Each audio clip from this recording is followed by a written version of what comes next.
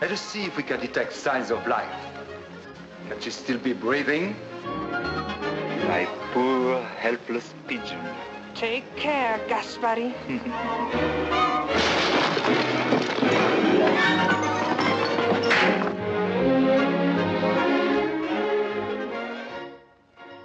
That was the wrong way to win a woman. The approach was not right.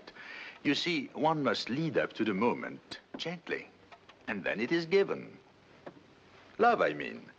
You will understand when you see the happy time, because this is a picture about love, and the birds and the bees, and a law of nature which is widespread among all animals, being the awakening of a natural appetite. A very hard appetite to satisfy, believe me. Hmm? You don't know this yet? Oh, then you must see the happy time and learn what happens in my family when I tell my young son the facts of life.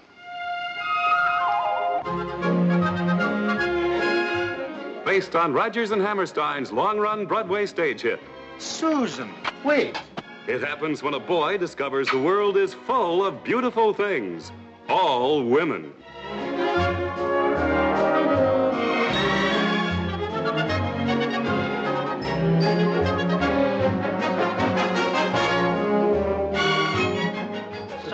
So, Desmond, you have not yet been shot by an unhappy husband. Uh, what's the occasion this time, huh? The widow Latouche is waiting. Hamley. Now, wait.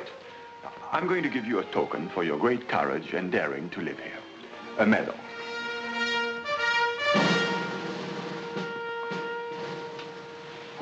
No.